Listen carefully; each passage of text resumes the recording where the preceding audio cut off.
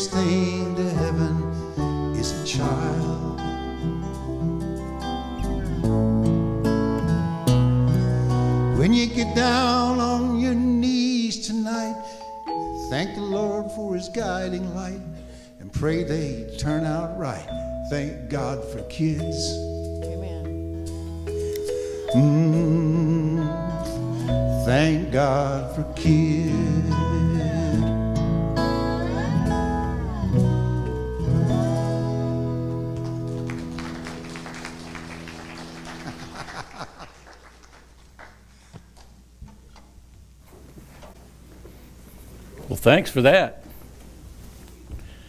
Uh, in the spirit of kids, I've got one more kid to show. So, do you do you have that? Uh, get that ready to go, Robert?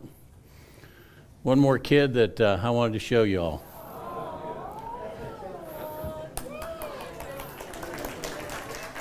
For for those of you that are newbies, that's uh, that's uh, Preston McCullum, and of course their family been members here forever. And Preston was uh, our former youth pastor, and grew up here, and now they're in East Texas. And so I called him and said, Preston, send me a picture of the baby, and uh, I probably got about 60 pictures already.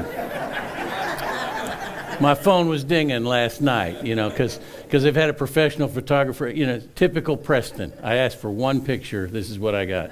So I wanted you to see that. I knew you'd want to rejoice in that. So now he can turn loose all those pictures. Go to his Facebook. You'll see more pictures of that baby than you want to than you want to see. But uh, I wanted you to see that from here. So call and congratulate Preston.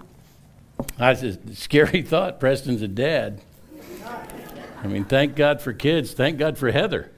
Because, uh, you know, hmm. of course, I, I, remember I was doing a Father's Day uh, sermon a few years back, and, and uh, they wanted me to talk about when a man matures. Yeah. And, uh, and at the time I said, uh, I, I answered the question um, well, if you ask me, it's sometime past about 38 because I think Chad was 38 at the time. And uh, if you ask uh, if you ask Donna, she'd say somewhere past my age, and if you ask my mother, it'd be somewhere past my dad's age. So what we assume is that men never really fully mature. We we just get bigger, get to be bigger boys, and uh, and you can tell by by our actions. I, I always tell people, you know, when they say male chauvinist pig, I say that's a redundant sentence. Uh, but men have been taking it on the on the chin here lately. I'm telling you, and uh, and so you know we need to we need to be the best we can be, and hopefully uh, we will be that in 2018. Does it feel like 2018 to you is a a little bit of a slow start? You know, kind of reminds me of you know growing up in California. We'd go down the hill on our skateboards, you know, and get to the bottom of the hill. Man, that was fast and furious. And then going back up, it was like uh, uh, you know, I mean, you just had to keep going. And it went slower and slower and slower and was harder to do. And kind of 2018 so far feels that way. Um, now, uh, we don't need for it to continue to feel that way because I think we're going to get off to a great start. But we did come to a wonderful ending. Uh, those of you who who shared so much all year long in, uh, in the giving of your lives and the giving of your gifts and the giving of your talents. This has been an exceptional year again. And next, uh, next week, I will give you kind of a report on how we did finish off. But basically, we, you know, we oversubscribe the budget, which means we have money. And that's a sign of, uh, that's a sign of servanthood. That's a sign of gratitude. That's a sign of a growing church. And so thank you for that. Uh, I'm in 2 Corinthians 12. I'm so excited to get to chapter 12 and 13. Some of you might be really excited for me to get to 12 and 13 as well in this book. We've been in it a while. Uh, 2 Corinthians, or as I've been calling it, Second Carrolltons, uh, because it's so much like our culture and where we are. But uh, probably one of my favorite chapters in all of Scripture is chapter 12 of 2 Corinthians. It is, an, it is such an open acknowledgement of who God is in this great man's life. And he is dealing with a church. You'll remember the church was having some difficulty and they were they were thinking about uh, they were thinking about Paul and they were critical of Paul and he's having to defend himself which he hates to do and he hates to do it because he's a person of great humility and in chapter 12 you're going to learn where all that humility came from and humility is such an important part of your faith. Do you understand that? I mean, uh, Oscar Wilde tells a story of, uh, of these uh, demon imps who were out in the desert, and they had this, uh, this holy man who had set out in the desert just seeking God, and they were tormenting him every kind of different way they could think of. And Satan came up to them and realized that they were not affecting this holy man at all. And so Satan said to his imps, he said, Step aside. And he walked over and he whispered in the man's ear that his brother had just made archbishop. And humility went away. Jealousy came in. And, and, and that's a subtle kind of way that Satan wants to work in our lives. He wants to sap the humility away from us. And we, we begin to think that uh, we're some kind of special, you know. And, and, and Paul has been struggling with this because he's had for the last two chapters to give his resume back and explain who he is. And he hates doing it. Matter of fact, he keeps calling it, this is a foolish thing to talk about. But sometimes we need to talk about it. Sometimes you have to have a resume. If you're looking for a job, you've got to put a resume. If you're on LinkedIn, you got your resume up there. Matter of fact, they don't even call them resumes anymore. I get them and they call them vites. And that's fancy word for resume. And, uh, you know, of course, I just got used to calling it a resume. For my whole life, I called it a resume. And, uh, and now we got vitae. I don't even know what that is, but people talk about their pedigree. If you're getting ready to go to college and you get the catalog out, the one thing you want to learn about is what, who, are, who are the professors that I'm going to be listening to? Do they have the right credentials? When you uh, choose a church, many times you want to know uh, does this guy know anything about what he's talking about? And what is his resume? What is his credential? And the same thing was happening to Paul. And there is this human desire for all of us to be adequate. Matter of fact, we don't want to just be adequate, we want to be super adequate. And it's painful when we begin to learn that our adequacy is not there. That we are only adequate when we are in Christ.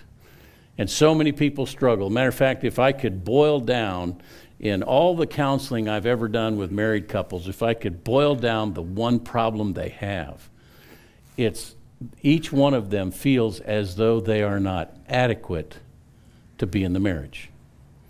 And what they do is not adequate for the other person.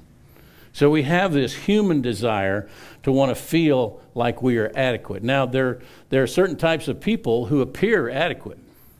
There really are. I was thinking of, of these three in particular. The, the highly educated appear adequate. Matter of fact, has, if you've ever worked with a PhD, we have any PhDs in the room? Good. Uh, yes, we do. We have one. Dr. Kayla Mayer is our resident PhD. Now, you, do y'all know what PhD stands for? Piled high and deep. That's what that is. It, it, means, it means you went to school for a really long time and wrote a very difficult paper to get out. And, uh, and there's, there's nothing against being a PhD. I, I, I was, heard this guy speak, and he was speaking to a group of PhDs, and of course, he didn't have a PhD, and so he decided to put on his card DMN. And, uh, and so they introduced him and called him a DMN, you know, and all these doctors and PhDs out there, and they're, you know, everybody's kind of buying in. Oh, a DMN. Finally, one person quizzed him afterwards and said, What is a DMN? He said, Don't mean nothing.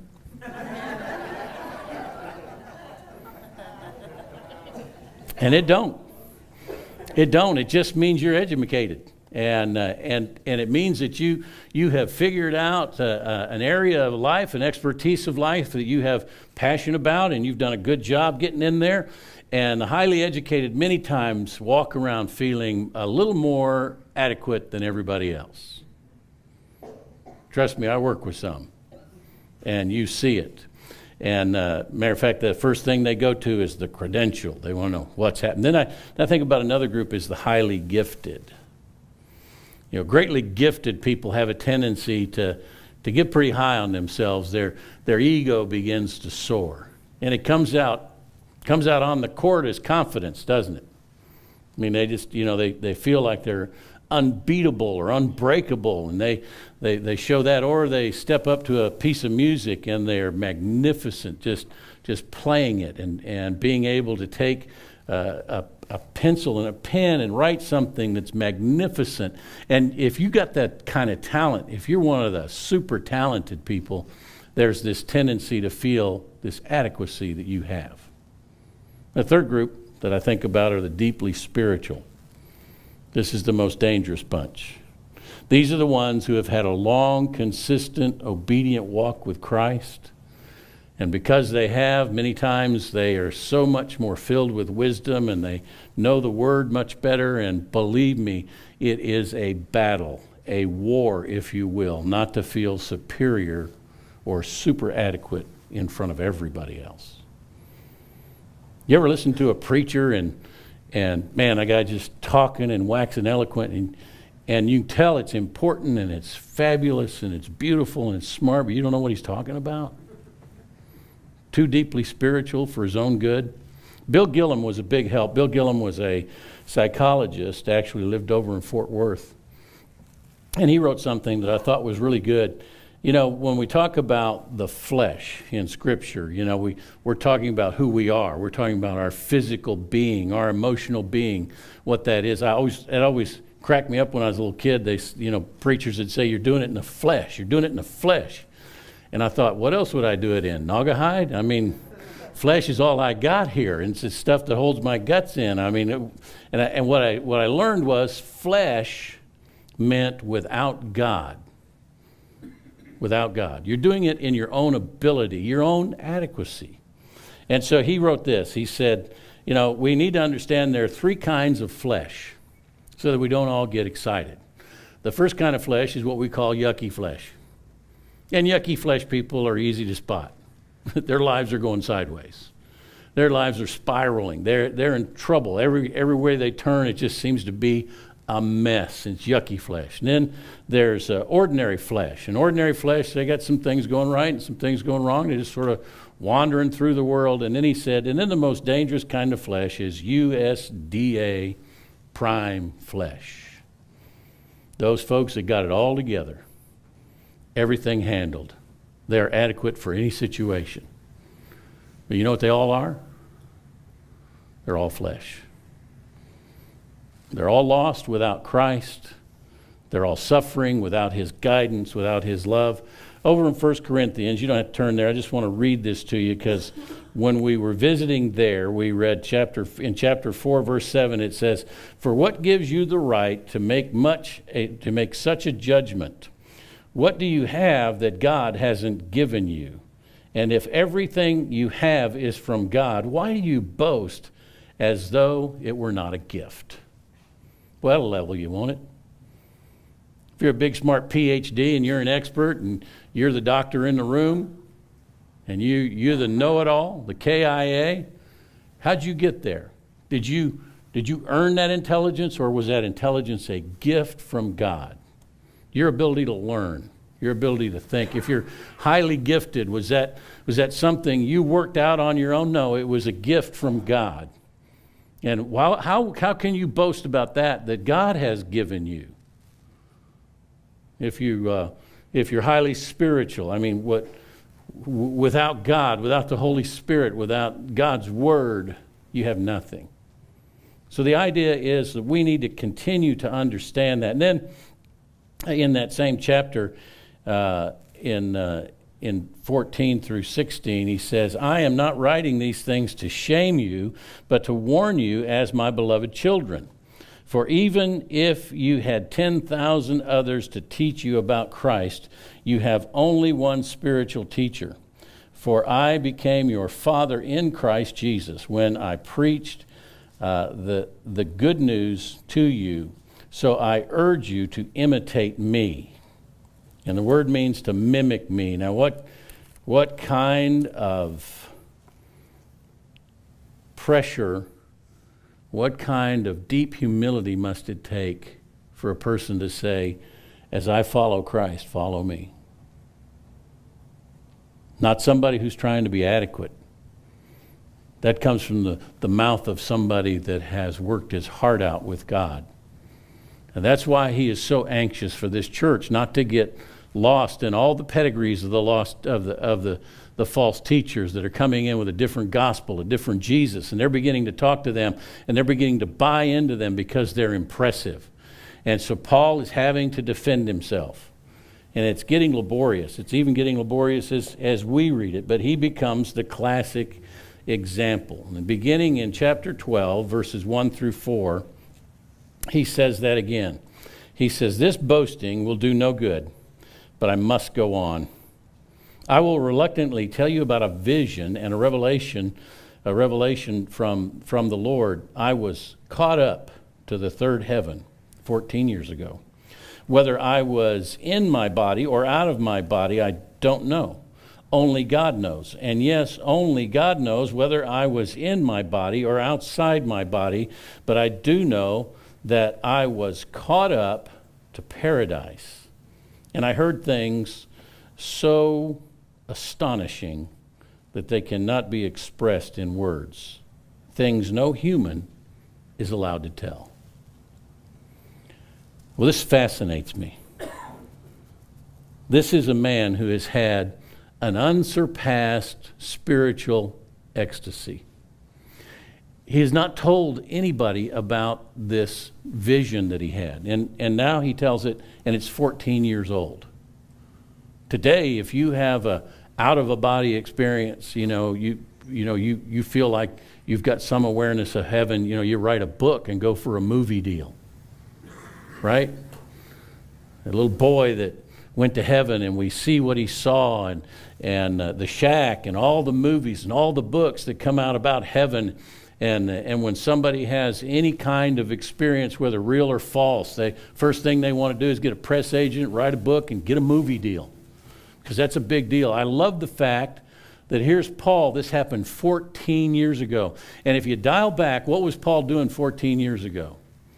Paul had been on the road to Damascus and he was struck down by a light from heaven and he was miraculously saved by God and then he was separated and thrown out in the desert for some growing time. And the only thing he was known for is not being the great apostle or the writer of, of what God is saying as God's ex officio word. He was just known as a Pharisee who was persecuting the church. That was all he was known for. And he's very clear here. he says, Now, I had this experience I'm going to tell you about. It's 14 years ago. And what he's trying to do, he's trying to fully establish himself with that church. He is so afraid that they're going to be swayed by these false teachers that he's telling them, I had the ultimate in, a, in a, an experience, an intimate experience with God. I was face to face with him. And notice Paul doesn't talk about what he saw.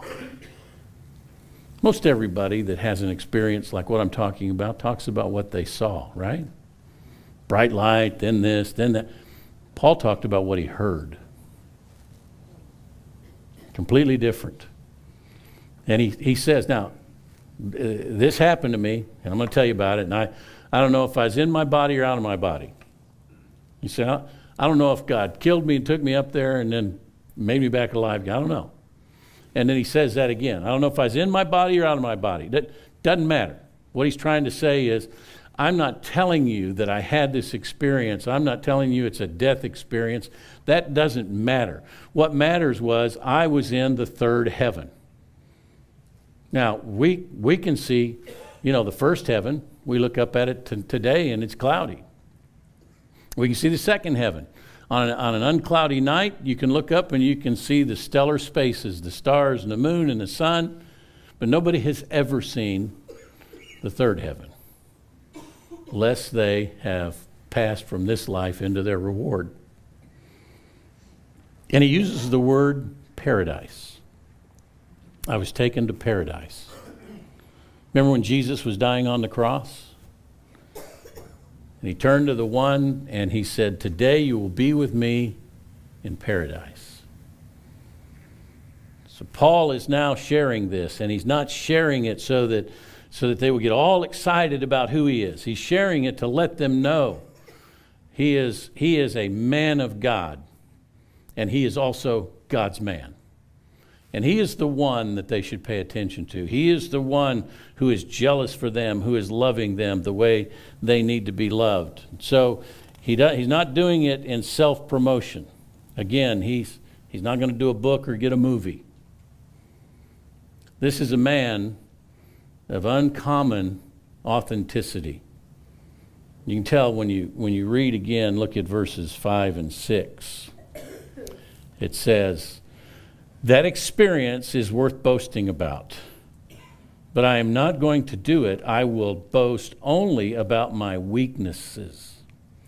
If I wanted to boast, I would be, I, I would be no fool in doing so because I would be telling the truth, but I I, I won't do it because I don't want anyone to give me credit be, uh, beyond uh, what they can see in my life. See, the idea is that, that if you knew somebody, if you knew somebody who had been to paradise and somebody who, when they talked about it, you were assured that this was a significant, real thing, you would want to, you would want to put them at the very pinnacle of what's happening in your church in your life. You would want to be very attracted to that person.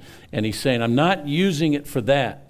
I'm using it to show that my faith is authentic. I'm using it to show you that God gave me a specific call, and that call is continued to this day, and it is an authentic call. And when I was in the wilderness, God thought so much of you that He took me to the third heaven. He is, He's giving them as much as he can give, trying to maintain humility around it. And then the, the next thing we learn about Paul here is he is a man of inescapable pain. And I think it's very interesting. Here he is trying to convince them that, uh, that he is the one that they should be listening to. And now he's going to talk about pain in verses 7 and 8. Uh, Now, one of the things that makes uh, that makes pain interesting is you, you, you don't want to share it with everybody, right? Can I just tell you I'm sick of hearing about my back? Thank you for asking. But it's how's your back? Well, all my problems are behind me. Uh, but but it happens. I mean, anybody that's ever lived with any kind of pain, it becomes kind of the first order of business. Let's talk about your pain. And and it, after a while, you get frustrated being reminded about your pain. You just kind of want to go on. You kind of want to just move through it and get going. And nobody likes pain. Pain is the gift that nobody wants. I mean, yeah, these are bad socks at Christmas, pain, right? And yet it is a gift. And Paul will handle it as a gift, which befuddles people. It befuddles people. When's the last time you prayed, God, give me whatever pain you need to give me to maintain my humility? Give me whatever affliction that I need to have.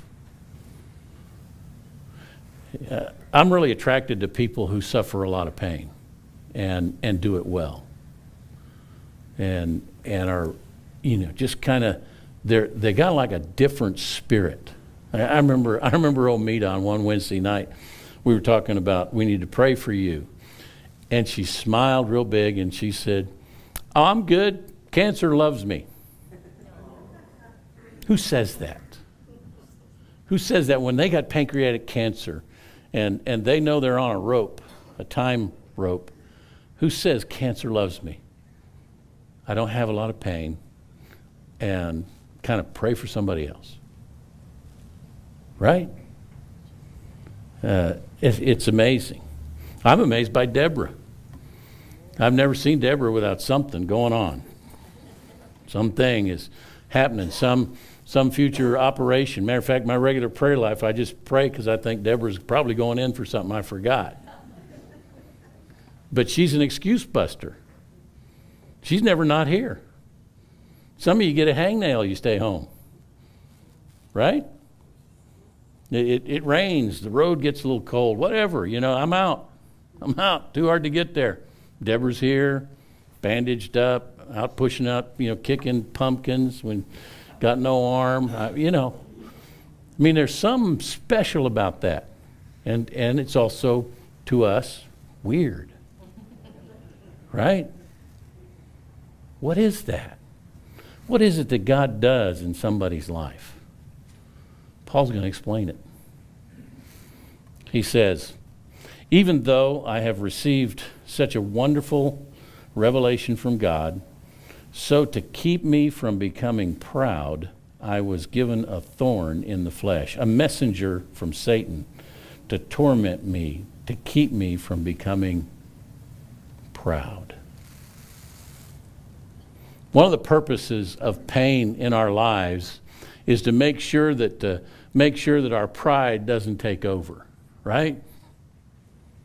Like if this, if this old body didn't age, if I had no pain and I felt like I felt when I was 18 years old, how big would my head be coming through the room? You know what I mean? I'd be walking up to Fambro going, hey, you want to race across the parking lot? I can beat you. You know? You, you, you want, let's go, let's go hit some balls. Let's go, let's go play some hoop. Let's go, you know, because your body has not defiled you yet. I'm telling you, and you start getting old and you start realizing pain, and if you're not receiving it as a gift, you're just a miserable person. I remember the last softball game I played in, and I, you know, I was old at the time. it was not that long ago, unfortunately, and and and I you know I, I used to play you know when I played softball I played shortstop. I could get anything but I had I had relegated myself to third. I really didn't want to play third but we had a bunch of old guys on the team and not everybody can play first you know? And so I was out there and and here was the deal. If you hit it to me I was going to get it. The deal was though you had to hit it right to me like I had to have a big bounce, it had to be about right here. And, and I could gather that and I could look somewhat coordinated as I took my step and shot it across over to first base. And I'd walk over and get my shoulder back. Uh, but, but, and, but, but I'm out there and, and the bases are loaded and a guy hits a shot right down the line. And in my mind, and only in my mind, I go vertical. I catch the line drive. I, I, uh, I, I, quickly just spin around and kick the bag for a second out, and from one knee, shoot it to second triple play in my mind. in reality, when I started the dive, I turned this ankle and I, I kind of stumbled and I hit the ground and and uh, and the ball went past and it was down there in a corner rattling around and the, uh, the coach from the other team had come out to the field and he's dragging me off to get me out of the way and guys are running around run and I knew you know what I knew?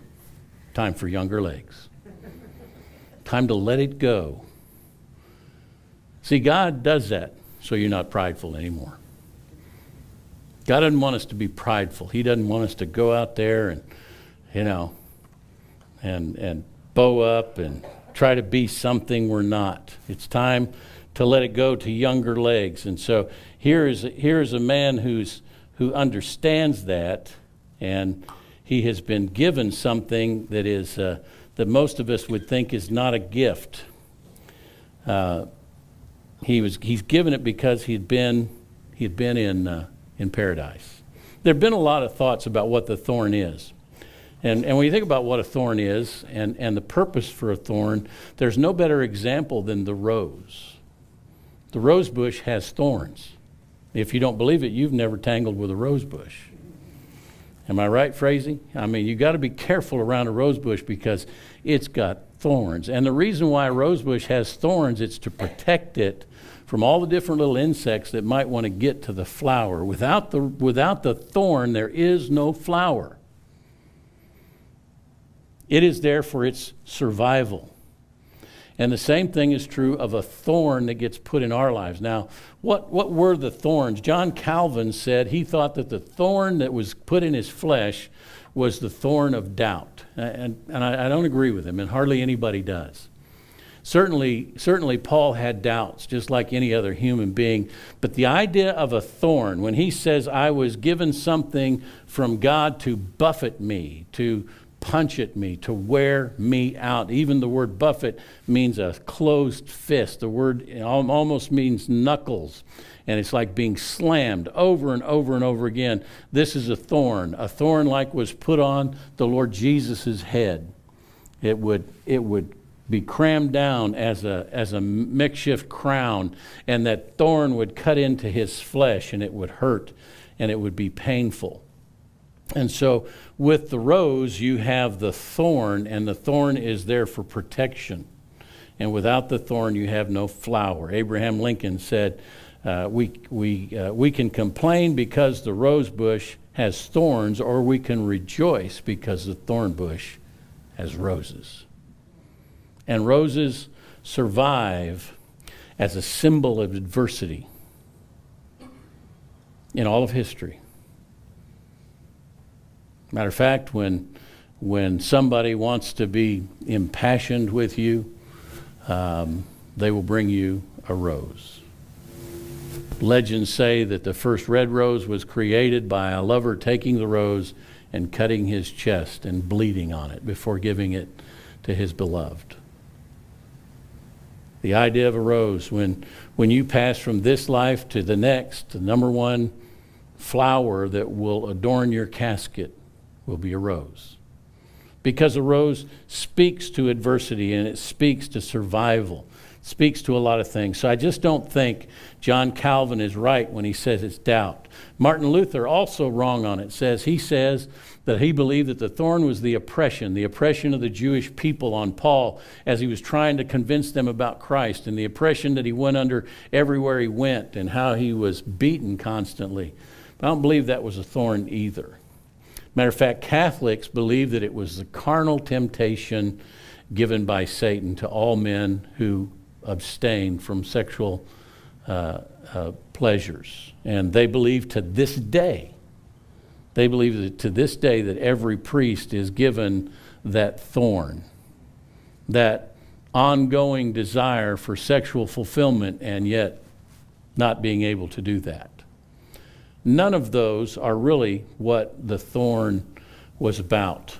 Uh, and and as, as I thought about it, uh, I was reminded that over in Galatians chapter, uh, chapter 6, 11, um, Paul says this. He says, Notice what, uh, what large letters I use as I write these closing words uh, in my own handwriting. And then earlier in chapter 4, uh, of Galatians uh, 4:15 he says uh, where is the joyful and grateful spirit you you felt then? I am sure you would have taken out your own eyes and given them to me if I had if it had been possible. You see Paul had uh, a, something that was horrible on him a thorn and it was given to him so he wouldn't have pride because of the revelation that he had. So he always had this, this thing that held him back a little bit and made him completely trust who God is. I believe it was an eye problem, a serious eye problem that probably led to horrible headaches, probably uh, drove him almost crazy. And that's why he said, you know, when I, when, I, when I take it away from the scribe and I begin to write, I have to write in big letters because I'm going blind and it's painful. And that was his thorn. And God gave him that thorn so he could maintain his humility. See, life sometimes has to be lived out in the thorny part, the part of life that is difficult. Look at what he says. He says, Three times I begged the Lord take it away. Each time he said, My grace is, is all you need. My power works best in weakness. And so I am glad to boast about my weakness, so that the power of Christ can work through me. And that's why I take pleasure in my weakness and in insults and hardships and persecutions and troubles that I suffer for Christ. For when I am weak, then I am strong. It's fascinating when you, when you think about this man and you think about what he's going through. He's a man of, of really paradoxical kind of power, unbelievable power. Where did it come from? came from the gift of the revelation and the gift of the thorn. I, I have heard it taught I've even taught it myself that Paul entreated the Lord three times. It doesn't say, says he begged him. Begged him. Have you ever been in a situation so horrible that you just begged God for relief and it didn't come? And you kept begging and begging and begging and it didn't come? And people have said, Paul, Paul begged the Lord for relief and God said, no. Actually, that's not what God said. I didn't see this till, till I studied it this week. God didn't say no to him. God didn't say, No, I'm going to take away your pain. I'm not going to take away your pain. Look what God said. My grace is all you need. That's not a no. That's a new revelation. My grace is all you need. You don't need relief. You need grace. And then he says, even why? My power works best in what? It works best in weakness. It doesn't work best when you're adequate. It doesn't work best when, when you get up and, and you razzle dazzle some stuff together and it's just awesome because you put it together and, and you're smart and it, you know, everybody just goes, wow. It doesn't, doesn't work at its best when you get up and, and you sing a piece of music or play a piece of music and you're just so good at it that it just sort of flows and happens. No, it does best when you are weak, when you are in full recognition that without Christ I can do nothing. Nothing. If you're a saint of God, you, you're not even to be trusted until you have a thorn. a thorn, and it, it, it may have bothered you, it may have made you aggravated, may have made you defensive, may have made you depressed. It may be something that is, that is hard on you. Spurgeon, uh, the great leader of London, the, the man that turned London around for God, had struggles with deep, deep bouts of depression where he constantly thought he would rather die than be in that hole of depression. And he saw that as his thorn. And he managed to buoy himself up and minister through that throughout the years. All of us have something on us. None of us are unscathed. We can stand up, dress ourselves up, walk out into the day as though we are adequate, as though we are USTA, wonderful, beautiful, USDA, TA is a tennis thing, uh, USDA flesh. But the truth is, we are not adequate for this world or for this ministry until we become the weak, the weak person that we truly are and begin to understand God can work through our weakness in a magnificent, unbelievable way if we will simply let Him. So, what do you do when the thorn pierces your adequacy? What do you do when you get there? Well, first of all, God's thorns are permitted into the believer. You have to understand that. As a matter of fact, God's grace that is sufficient was born from the womb of woe. Isn't that a great, isn't that a great sentence? I don't know where I found that, but that's cool. That's right adownable. Uh, God's grace that is sufficient is born from the womb of woe. You know what that means? That means that if you know the sufficiency of the grace of God, it's because at some point in your life you've had a thorn embedded that is taking you from pride to the pleasures of knowing Christ in a new and a fresh way. So when you're, you're pierced, the, the idea is to understand that this is, a, this is not an enemy but a friend. That's what James would say. Welcome your suffering. It is there to perfect you, it is there to make you more like Him. Now, also, the second thing that I would tell you about thorns is uh, don't, don't assume, and I've heard this also preached, that thorns are some family member. I've heard preachers say that, that Paul's thorn in the flesh was a contentious wife. No. A thorn in the flesh is not a wayward child. A thorn in the flesh had, doesn't have anything to do with your family. Those are sad things that happen to you and have a horrible effect on you, but a thorn is a physical ailment that you wear on your body and God's grace is sufficient for you to do it with dignity, for you to stand in the midst of the pain, for you to walk through whatever the dark thing is and say, Cancer loves me. That's the purpose of a thorn to make you more and more like Christ. Through the midst of all of his suffering, Jesus continued on. And and by the way, you're in good company if you're thinking, I, I just as soon not do the thorn thing. Because when Jesus was getting ready to suffer on the cross, you remember what he said in prayer? God, if there's any way you can take this from me, that'd be great. But not my will, but your will be done.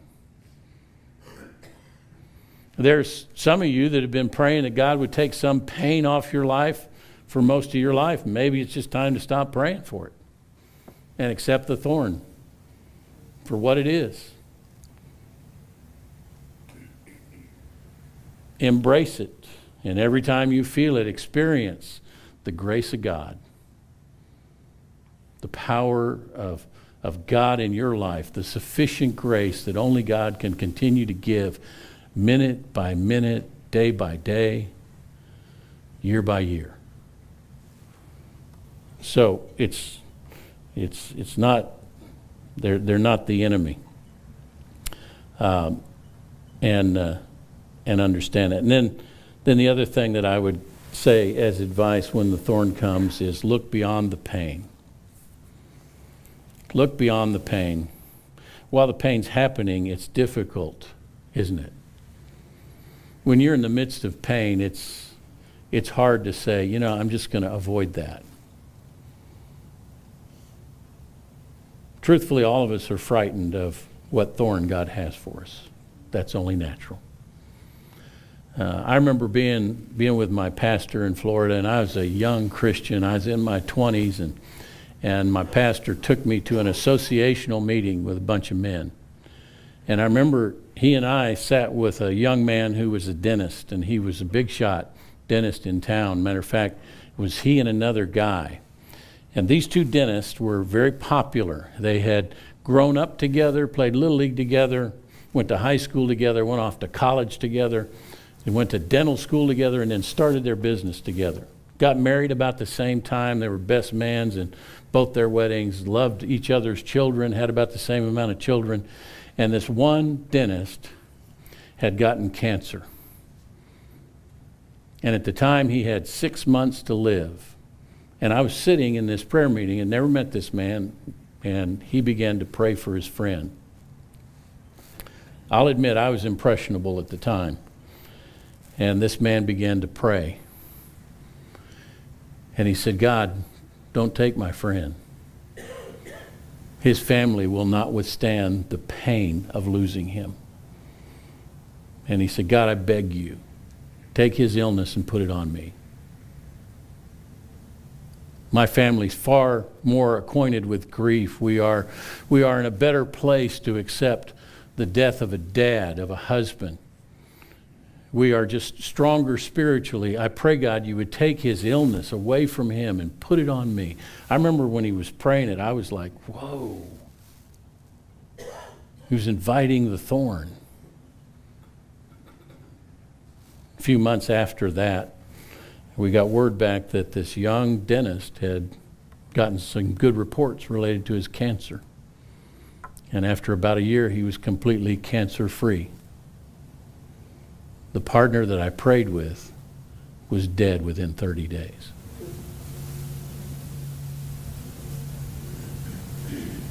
You see, God's grace really is sufficient. Truly is. And when you accept what God has for you, it doesn't matter what it is.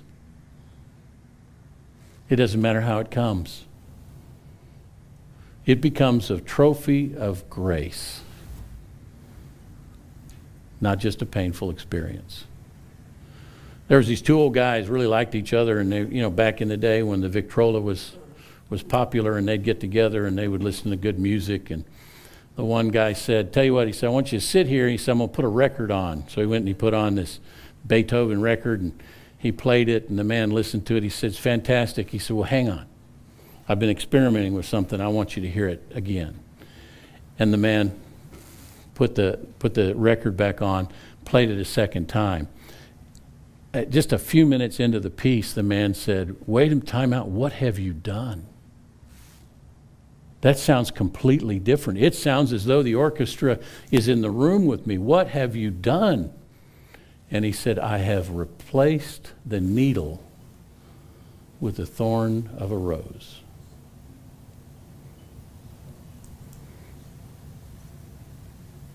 Sometimes the music sounds better when it's being played by a thorn. I pray God would make great music through the thorn in your life. Father, thank you. Thank you, God, that it is through the thorn in our life, the gift of pain. Father, the thing that uh, is brought on to us to keep us in a humble state.